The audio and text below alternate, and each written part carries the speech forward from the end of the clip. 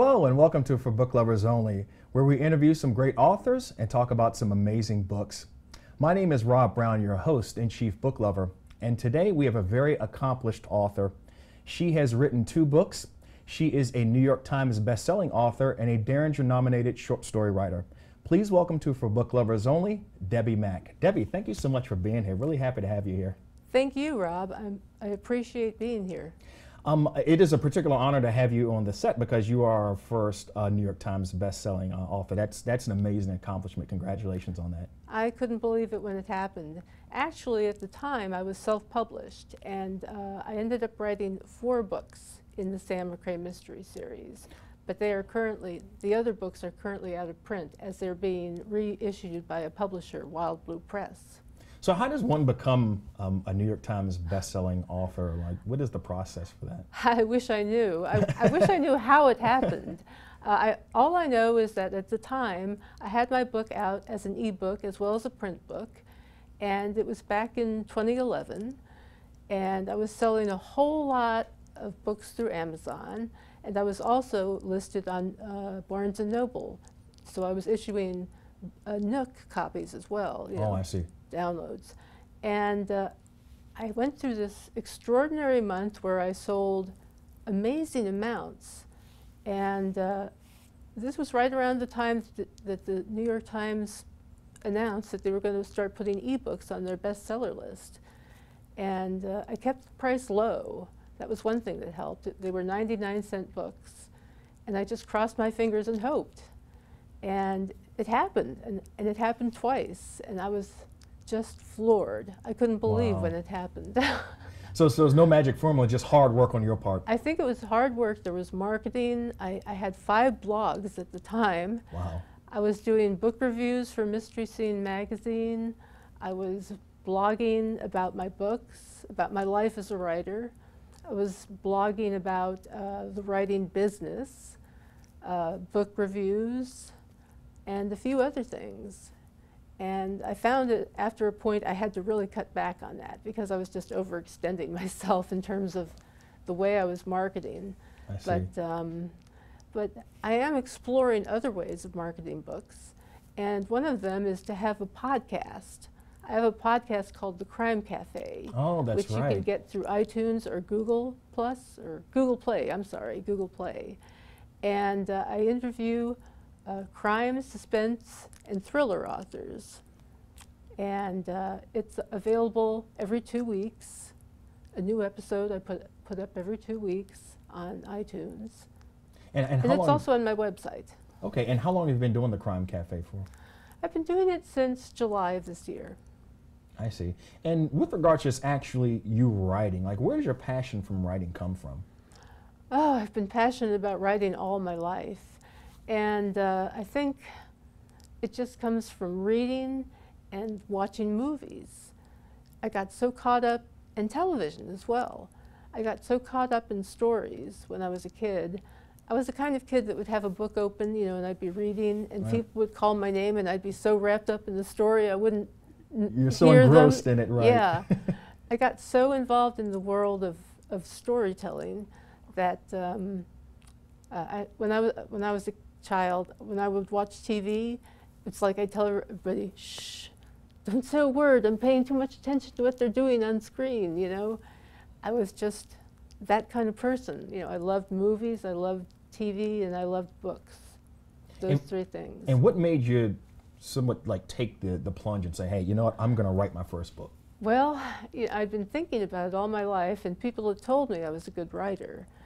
And uh, I think I reached a certain age and I said, you know, if I don't do it now, when am I going to do it? And that was in the mid 90s. And I started working seriously on a mystery because I love different genres, but mysteries have always been one of my favorites. And um, in addition, I had heard that if you can write a mystery, you can write anything. So I thought, okay, I took it as kind of a challenge. Right. In addition to the fact that I loved mysteries anyhow. And um,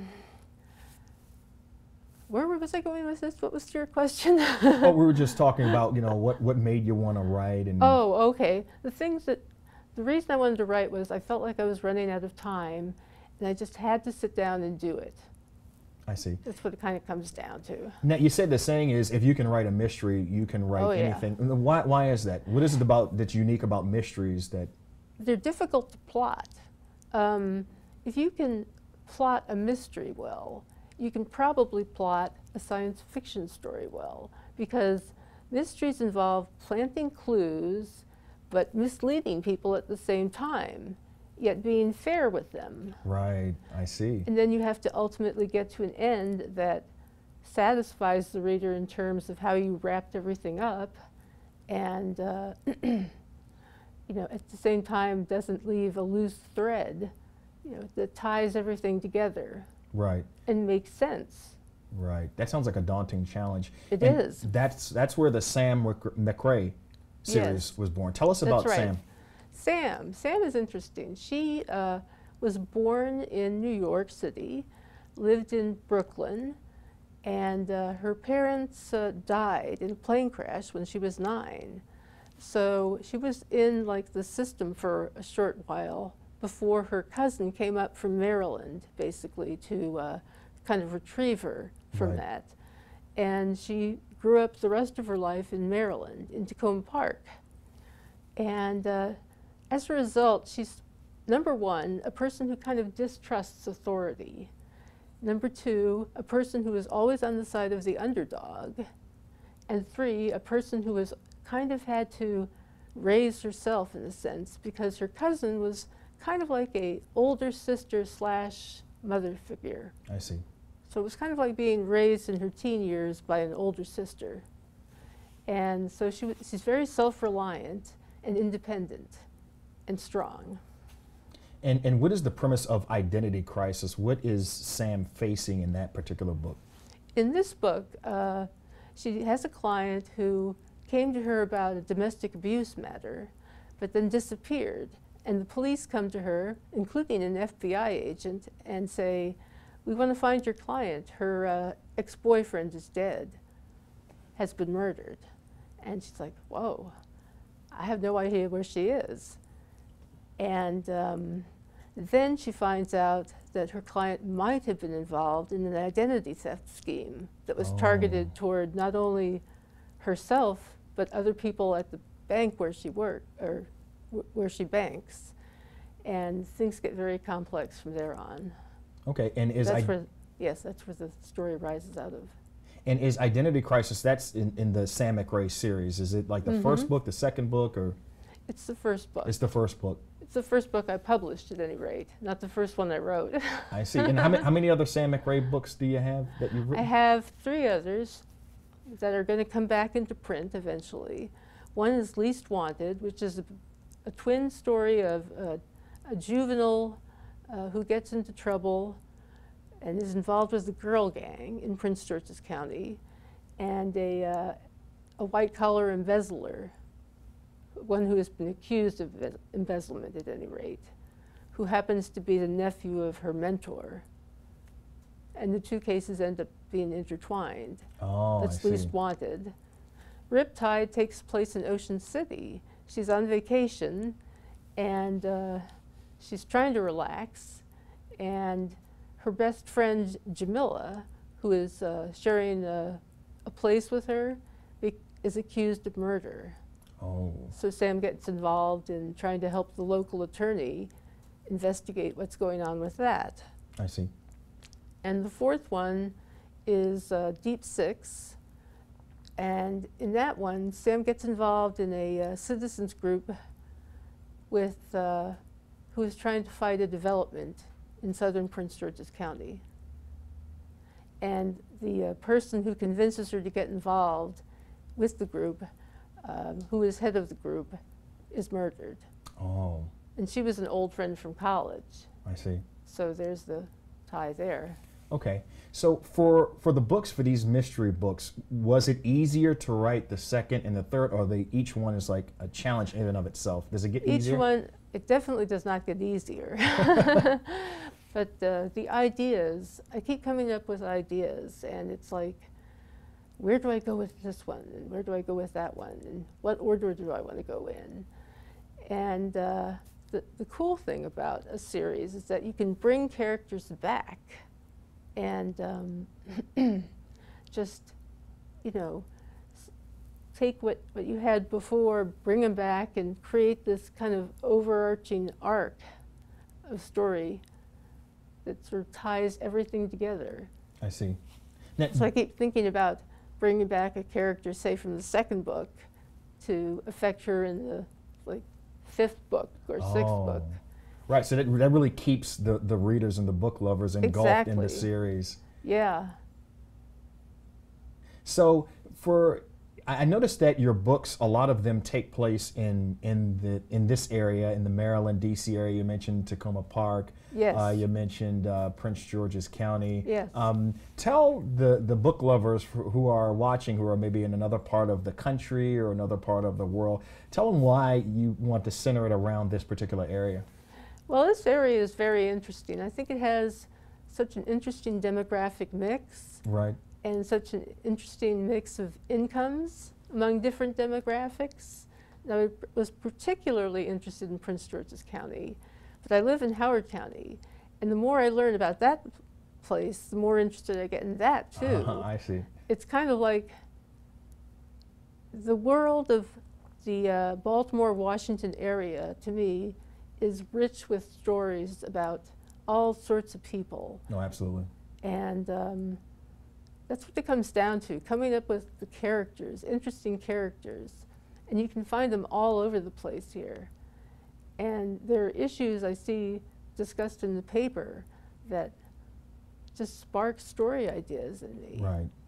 And so I think the Baltimore, Washington area in general is a great place for all sorts of stories. You've got the federal presence right. and the Absolutely. local presence. Right. And the potential there is endless. right, exactly.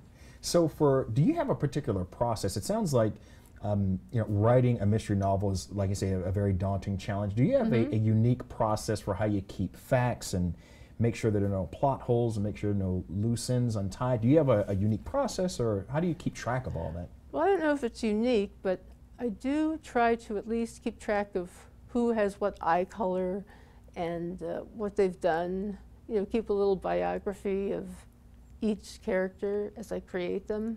I see. And uh, as far as verifying facts and things, I, will do some research on the internet, but sometimes I find it necessary to call people and just ask, you know, people, uh, experts, you know, I, I might find through internet searches or just finding somebody I know in, in the writing community who might have the answer. Exactly. Sometimes it's a, if it's a legal question, I can do the legal research. I used to practice law. And um, occasionally I'll ask a lawyer, you know, what, would this happen in this situation?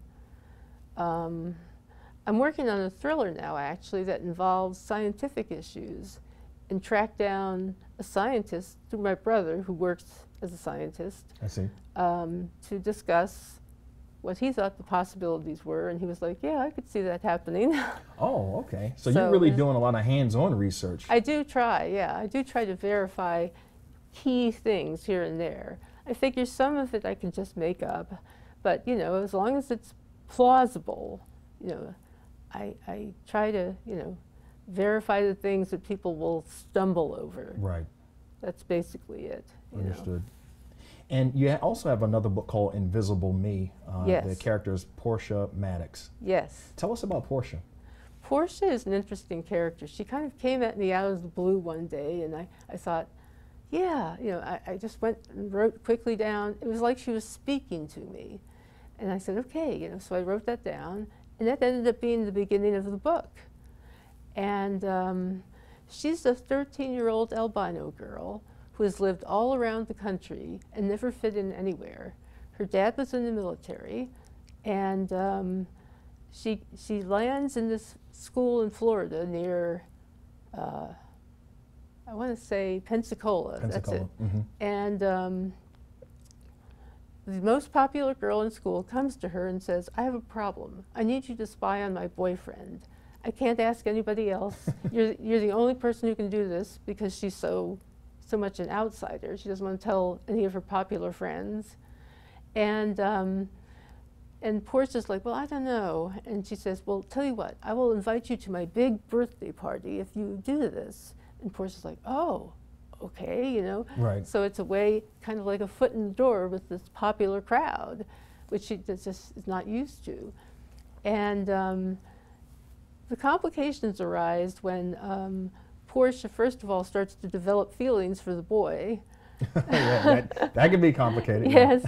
and secondly, there's another uh, friend named Judy who is also kind of an outsider. And Portia has to balance her um, alle allegiances to Judy with those to Denise, the popular girl. And what happens is, I hope, an unexpected series of twists ah. as far as the relationships between all the characters in the book, because all these people have secrets that they're not telling each other. I see. I see. And it gets very interesting. Um, the end has a big twist, big, huge twist. And I'm actually thinking about turning this into a series. Yeah, I was just going to ask you that. Is this going yeah. to be a series? Because it sounds like uh, Portia I, has a lot of uh, a lot of things that can happen to her. Yeah, and, I uh, I started thinking about it, and I thought, you know, this is actually the perfect start of a series, with an arc that would go from her from age 13 to age 16. Right. And possibly beyond. Right. Depending this, on how well it does. This is in the young adult genre. Now, you'd mentioned earlier you like to do a lot of hands-on research.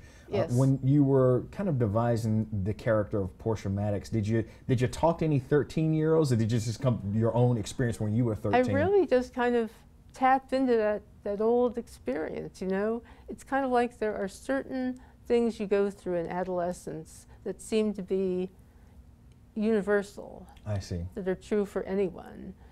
I mean, even kids today on the internet can relate to the sort of feelings that she's having.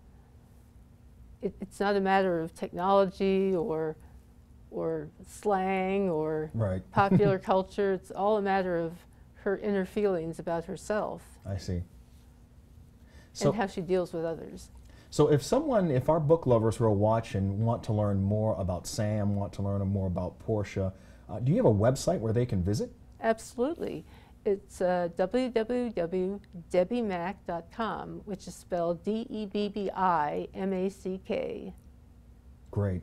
And do you have, other than Invisible Me, maybe developing more um, novels than that, do you have any other works other than the, the scientific novel that you're going to be doing? Oh my gosh. Well, um, the uh, other than the thriller, I'm working on screenplays now. Wow. I have a screenplay that's going to be in the spotlight at Script DC this year. Oh, amazing. And actually made the finals in two screenplay contests this year, as well as the second round at the Austin Film Festival last year. So it's been coming along, and I've been working on it since 2009, actually, making amazing. little changes here and there. And I recently optioned my first novel it, as a movie to a local producer. Whoa, that's big. It is, it's huge. And uh, I wrote the screenplay for that. I adapted my own book, which was a challenge. Right. Because I thought, oh my God, you know, what parts do I cut? What do I change? Uh-huh. writing a screenplay is very different. Similar, but different than writing a book. Yeah, I can imagine. Yeah. Well, Debbi, it sounds like you have uh, a lot of uh, writing ahead of you, and we're oh, yeah. uh, we're really excited about you know all the great novels and screenplays and, and, and the Crime Cafe, uh, and just uh, staying up on your success. So thank you so much for stopping by. Certainly, it was my pleasure. And absolutely, and as you come out with more novels, we look forward to seeing you again here. Thank you. I look forward to coming. And thank you for watching for Book Lovers Only. If you want to pick up a copy of Invisible Me or Identity Crisis please feel free to stop by at www.forbookloversonly.com. And while you're there, you can get on our mailing list. Also, make sure you visit The Village at www.villageconnector.com. We want to thank Debbi for being our guest today, and we want to thank you for watching. My name is Rob Brown, your host and chief book lover, and we'll see you again. And remember, next time, if you love books, we have a home for you. Take care.